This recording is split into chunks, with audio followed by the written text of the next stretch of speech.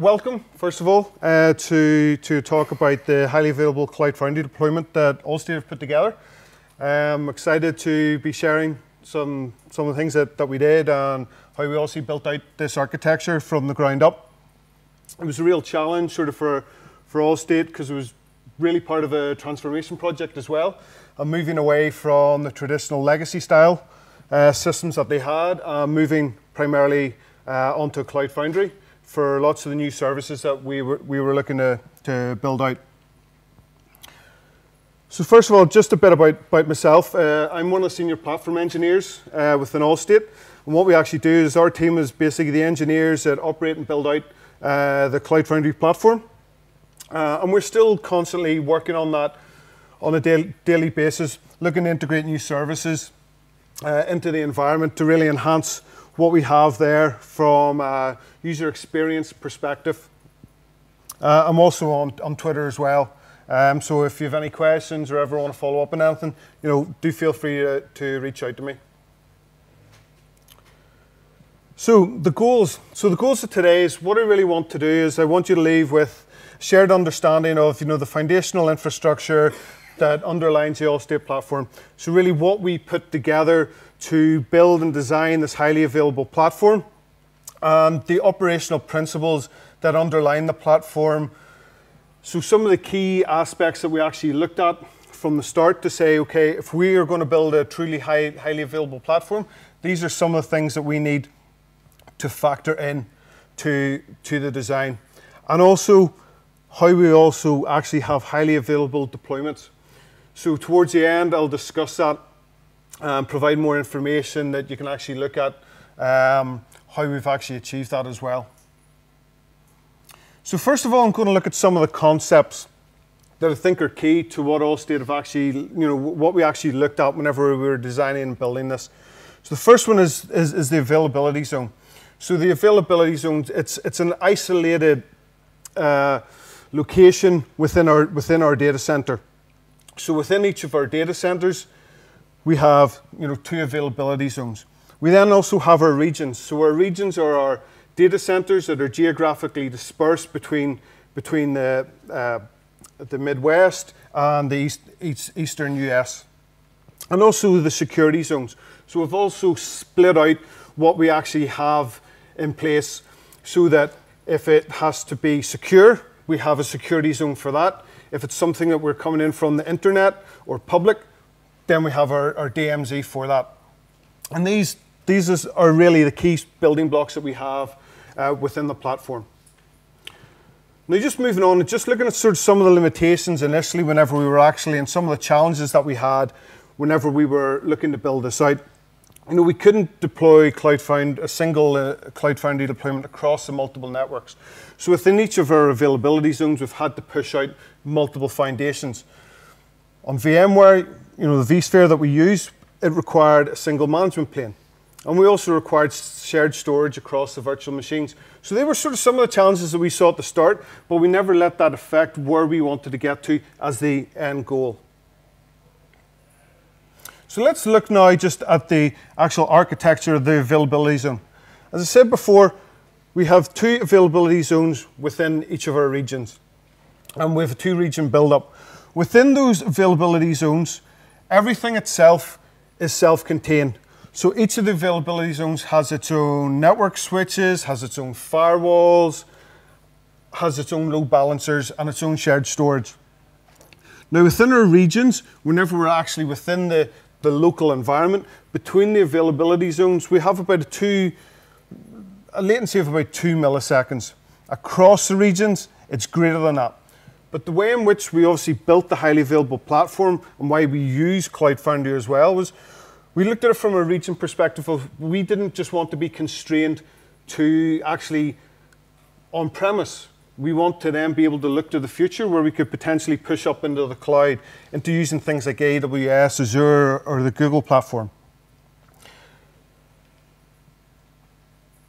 We're also continuing still to integrate with all our legacy services. So within here, although we have our availability zones, we still need to leverage things like Active Directory and some of the shared services that we have within the environment.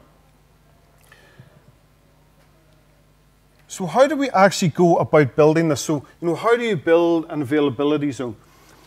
One thing, whenever this was being built, as I say, as part of the operational principles, is, you know, we always heard a lot in business about, you know, we want this, this five nines concept.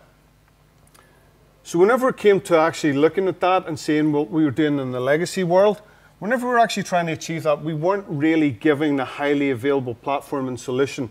And that's where Cloud Foundry has allowed us to actually do that. It's allowed us to drive down from whenever there was services issues that could maybe result in high availability issues or disaster recovery, going from maybe 30 minutes to an hour for even some of our critical systems, down to an enterprise that was completely active active. So to start out with, everything has to start somewhere. So what we started with, we started with the first physical server. And from that, we added more servers and created a cluster, which then gave us a lot of capacity and a lot of compute. And what that actually looks like then within our racks and cabinets is we have 37 servers, 756 CPUs, uh, 14, over 14,000 gigabytes of memory. You know, pretty powerful for what we're trying to do and achieve. Bearing in mind we were just in the initial stages of building a platform out and starting to bring in our digital transformation and bring our services and applications on board. From that, we then needed to add our storage. From the storage, we then connected the switches to them. And then we actually virtualize the platform. So all and everything that we run on our Cloud Foundry deployment runs on VMware.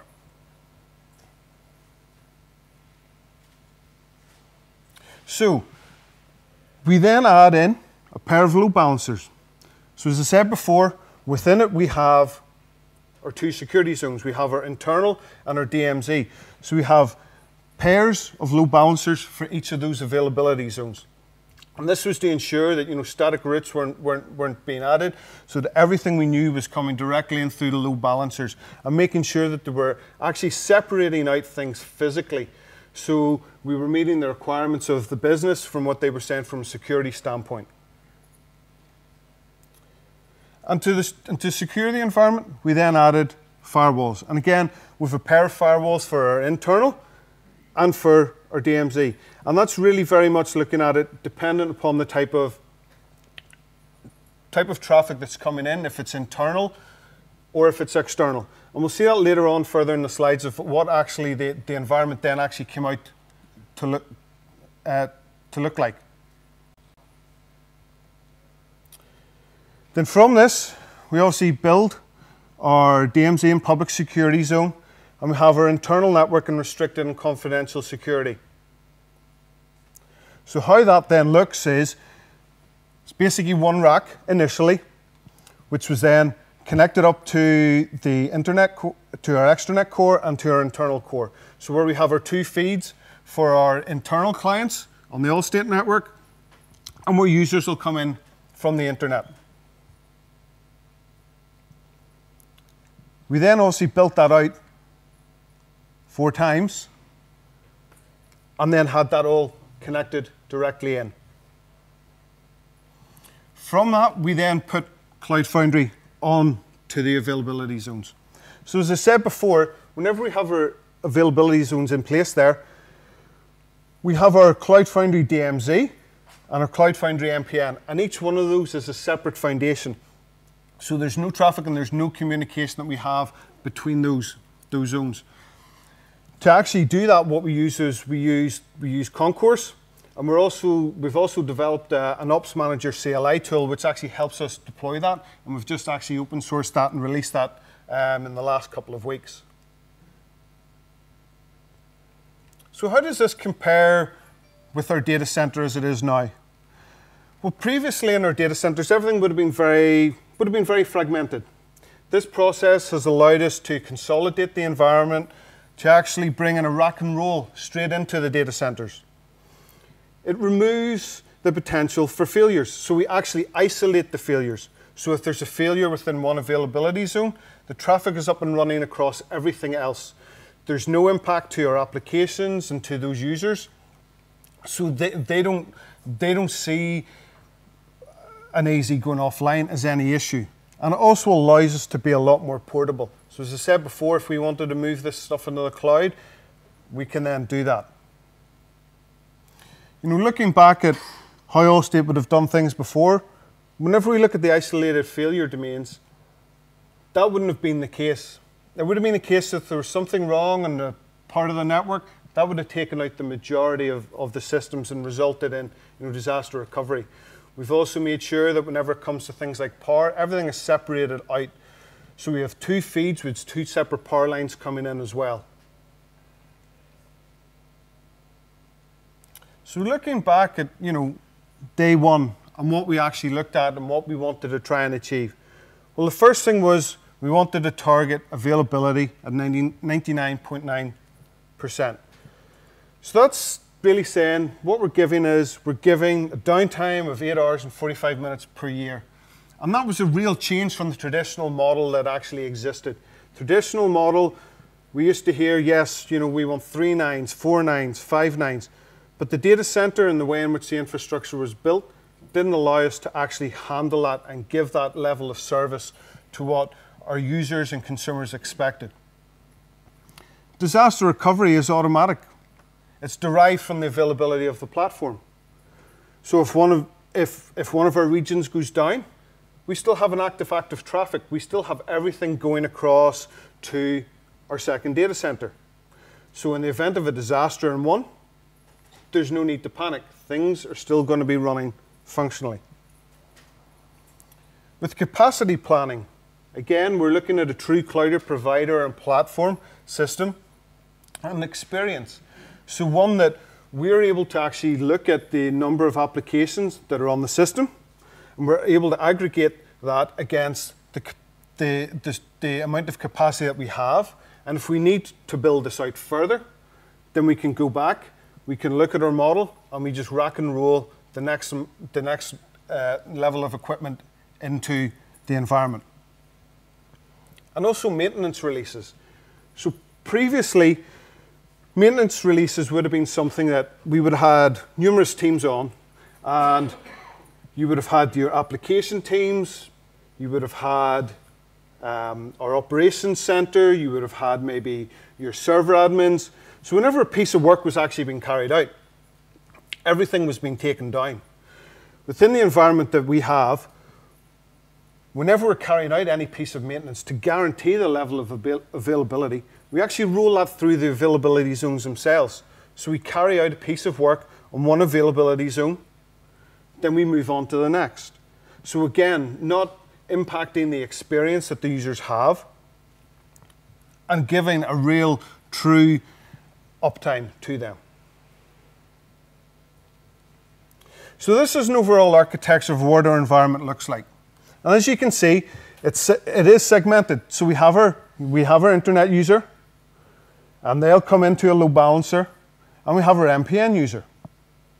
And from those, dependent upon the type of traffic that they're, they're looking at, so for example, although we have our MPN user, and they could actually come in through, through the top as well as the bottom, that's all dependent upon the type of security that's there. If there needs to be a form of authentication for the application, then they can come in through the top level GSLB and we have ISAM in place and applications that actually sit on our DMZ components that acts as like reverse proc uh, uh, proxy applications so that will then route the application through down to the actual service that sits within our internal network itself.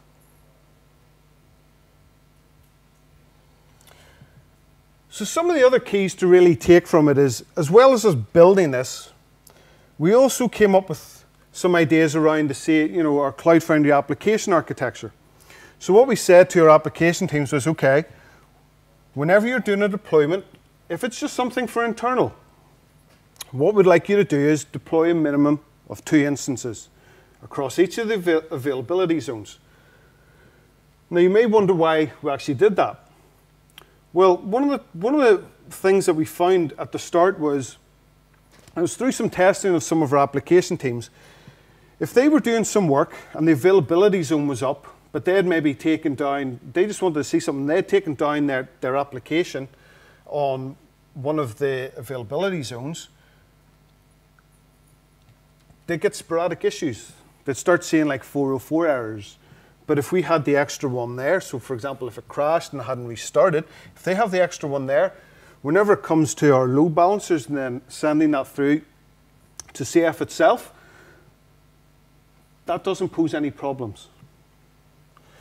But one of the challenges that we still do have within, within it, and it does, you know, it will tend to affect the data services, is we've had to still push our database application, you know, our, our databases for persistence still have to be outside of the Cloud Foundry environment which is a challenge, but it's something we're actually working at at the minute. So we we have a development team in Tempe that are actually looking at how we can integrate that in with Redis and RabbitMQ and using some open source technology to actually give good data persistence across our environment.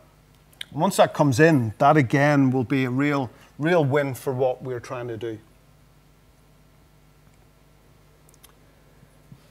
So there is some differences then whenever we have our internet facing or authenticated applications.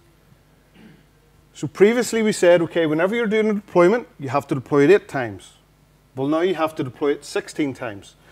Again, the reason behind that is, is because of the proxy apps that we have sitting within our DMZ.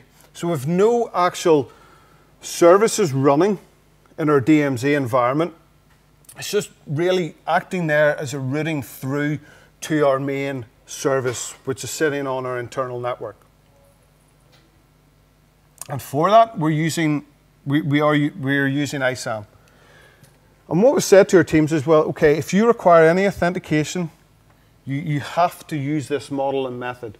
If you're just doing pass-through and you're just letting anybody within the internal organization actually access the, the system, then it's good. You know, you don't need, you, you don't need to, to worry about this. So moving on to some of the challenges we had around, you know, highly available application deployments. So obviously within our infrastructure, whenever application teams come to actually pushing out the code, they're having to push that across multiple foundations. What we wanted was we wanted, you know, a zero downtime across those multiple locations using a blue-green deployment. You know, we wanted the apps to be consistently deployed across those environments. And we also wanted change management automation. You know, we didn't want a system where it was going to take an inordinate amount of time to fill out paperwork to say that you're doing a change. We just wanted something that if a developer needs to push out their code, they can do that quickly and all the relevant change management process is worked through. So how did we achieve that? So to achieve that, we had a team in Tempe, Arizona, and they developed a product called Conveyor. And the prime build of that was to deploy the applications, to actually push them across the multiple environments using the blue-green deployment. You know, to fully automate the creation of auto-open and auto-close of the change records. But more importantly and key to it, from a, from a highly available application perspective, was to also handle auto rollback fun functionality. If something doesn't work in one of our foundations, it makes sure that everything is rolled back to how it was prior to that release. And the great thing about it is it was the first piece of open source software that Allstate actually released. So if you have a look there, it's called Deployadactyl. And I recommend that you, you, go have a look at that. It may be of use to you. You know, feel free to fork it and uh, make pull requests. You know, we want to obviously, you know, give back to, to the open source community as well. So what does this look like? Well, all our users use Jenkins for their, for their, for their pushes. And initially it was just a single curl to this conveyor API that API went, opened up the change record, went and got the artifacts from Artifactory, then carried out the deployment and actually pushed that out across each of the zones in turn. And it would only ever push it out to one zone at a time until that had finished. And if there's any, you know, for example, at the first step, in our first region and availability zone, if there was a failure there, it wouldn't try and carry on. It would just straight roll back. Even if it got to the last one in field, in region two, again, straight roll back. So we're guaranteeing that using the blue-green deployments that we we have a, a truly highly available platform. So what are some of the early successes that, that we actually had within this setup to make sure that we weren't impacting the applications? So we needed to do uh, a retrofit of our power distribution units on the rack and roll cabinets, and it was for future maintainability. So what we actually did in data center one was we did that live. We relied upon intra-AZ resiliency. We did the swap out of the, of the PDUs, and within that, we had zero downtime and zero impact to any of our applications in the environment. So nobody at that stage knew that we were actually carrying out any work. When it came to data center 2, it required a full power down. But again, whenever we did that, we did that over two nights at six, hour, at six hours apiece, starting in the US and finishing off in, in, in Belfast. Again, we had no impact to the environment, to our users. So the true cloud experience, the true experience for users, that their applications that they needed to access were there without any impact to them or to the business. And the result of that is, you know, we can see now that, you know, we can complete, complete the maintenance with, with zero impact to applications. And we're also doing that as we obviously use Concourse for our deployments and as we roll through the environments and actually start to upgrade the versions of Cloud Foundry that we have, we know that that isn't going to impact the users themselves. The services are going to be available. There'll be zero downtime. And it means that we can then truly live in to the idea of 99.9% availability, which, as I said before, in the legacy world of our business, we weren't able to achieve. We like to say that we could do that, but it wasn't something that we were actually doing. So I'm coming up just to, just to the end of the slides here.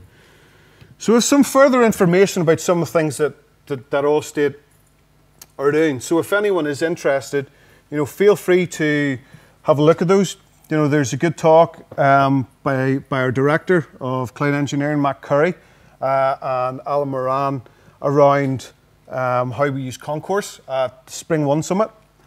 We've also got uh, Deployadactyl, which, as I say, is our first open source piece of software. We also do have uh, a Ruby gem called Ops Manager CLI, which again is open source. So feel free to have a look at that as well. And that's what we're using again for, for deployments. And probably one of the things that, that you know, we, we've seen as part of being part of Allstate and the transformation that's going on, and, and a good talk I think is, is Matt Curry's uh, talk about branding, a culture around technology, and the cultural transformation that we have actually gone through. So that, that rounds everything up that I have. Does anybody have any questions at all? Yes? Uh, how many platform deployments uh, can you have at large in uh, one availability zone? So what we have is we only have one deployment with, within the availability zone, so each one is its own foundation. Any other questions? Uh, just some Sure. last one. Um, if you try to scale your pod, uh, what is the maximum latency that you know? I mean, how many how many pods uh, can you scale to uh, stay under two milliseconds latency? So we'll be able to scale anything within our local data center. So anything with anything within that region, we'll be able we'll be able to scale that up. And it's something that we've worked very closely with our network guys to make sure that we are getting that low level of latency within our region. Then when we're going out, seeing exactly what that is as well. Yes? The automated chain creation and closure. Yes. What about the approvals? That's all auto approved.